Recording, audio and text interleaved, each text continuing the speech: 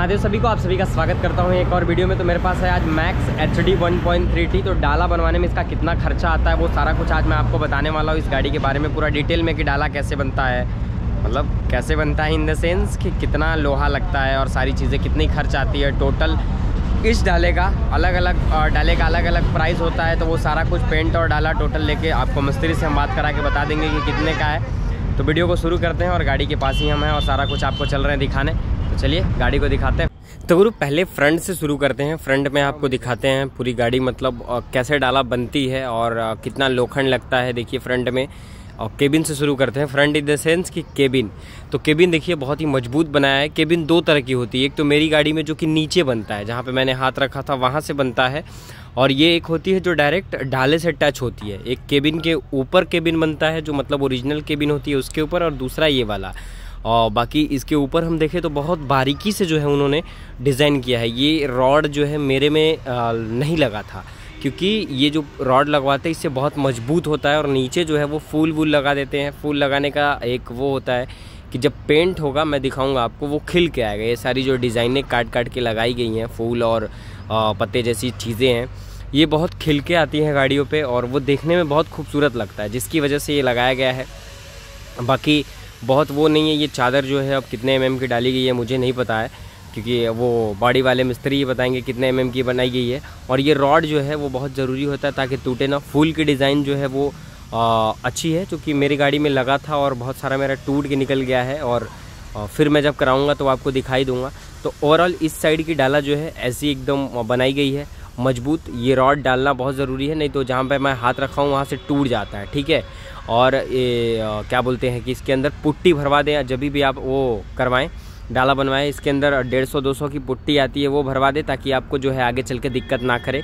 और फ्रंट में इन्होंने ऐसा कुछ लिखवाने के लिए बनवाया हुआ है। केबिन के ऊपर ये जो लोखंड लगा है, उस पर आप कुछ भी लिखवा सकते हैं। तो अननेसेसरी कुछ चीज़ें इसमें मुझे लग रही हैं जो कि इतना लोहा डलवाने का मतलब नहीं है डाले में। इतना लोहा डलवा के कोई ज़रूरी नहीं है। देखिए, केबिन जो है ये मज़बूत है। इस केबिन से ये होगा कि जब आपकी गाड़ी कभी पलटी मारेगी ना तो आपका ढाला जो है वो बहुत कम नुकसान होगा।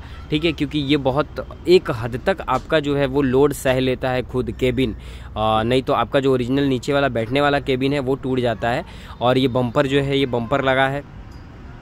इससे पीछे कोई ठुकेगा तो अंदर जाएगा नहीं। और भी क्या क्या चीज़ें हैं, वो भी आपको दिखा देता हूँ। ये जो है वो स्टॉपर है। स्टॉपर मतलब कि जो पीछे मिट्टी फेंकता है, वो मिट्टी जो है वो नहीं फेंकता है, रुक जाता है।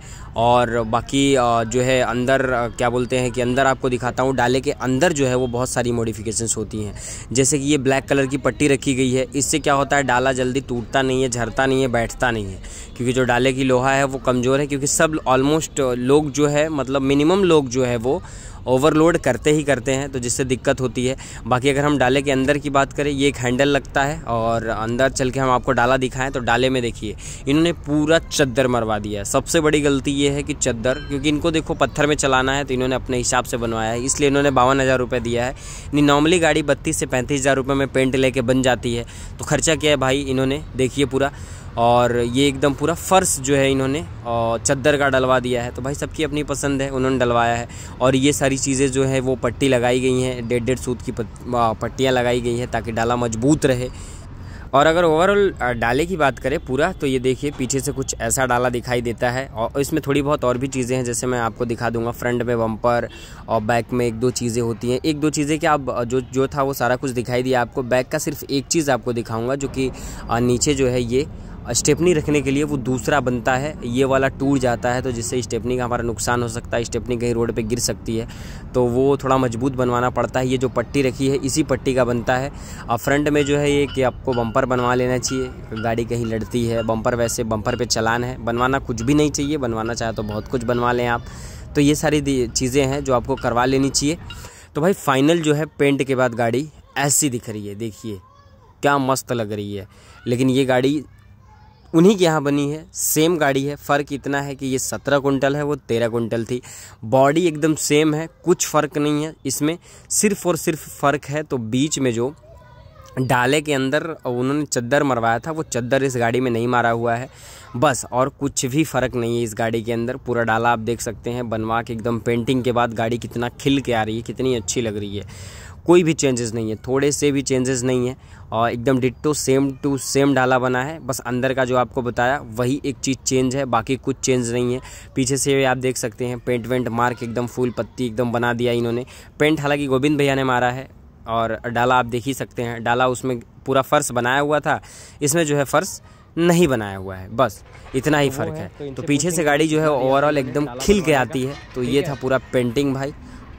तो अभी अब तो गुरु मैं जो है वो आ गया घर और ये वीडियो दो तीन दिन बाद शूट कर रहा हूँ क्योंकि उस दिन गाड़ी बड़ी बनवा के आया। सेम डे पेंट गाड़ी होती नहीं है।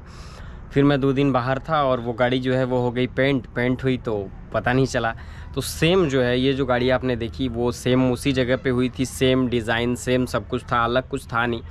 मतलब एकदम सेम ही था, कोई दिक्कत नहीं थी। दोनों जो है डिज़ाइन या फिर जो भी बोले बॉडी देखो क्या होता है ना कि जो बॉडी बनाने वाले होते हैं ऑलमोस्ट सेम बॉडी बनाते हैं। बस ये होता है ना कि लोहा किसी में कम डाला जाता है, किसी में ज़्यादा। तो जो पहले मैंने बिना पेंट वाली गाड़ी शूट की थी, उसमें जो है लोहा काफ़ी ज़्यादा था, क्योंकि उसका फिफ्टी टू थाउज़ेंड बोल रहे थे, बावन हज़ार रुपये जो है लगे थे बॉडी बनाने के, और इस वाले के जो लगे थे वो बत्तीस हज़ार रुपये लगे थे जो कि मैंने पिछले वीडियो में ही आपको बता दिया था, ठीक है? तो ये सारी चीज़ें थी।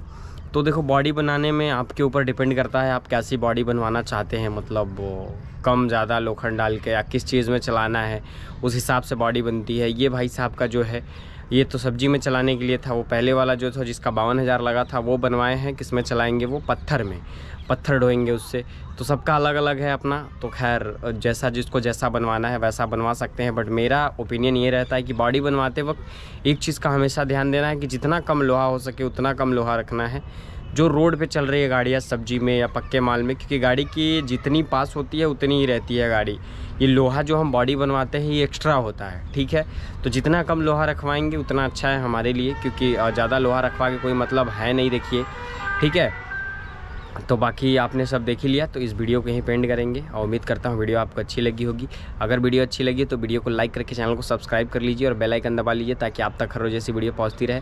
मैं मिलता हूँ किसी और वीडियो में, तब तक आप सब अपना ख्याल रखें, स्वस्थ रहें, मस्त रहें। वीडियो देखने के लिए बहुत बहुत धन्यवाद।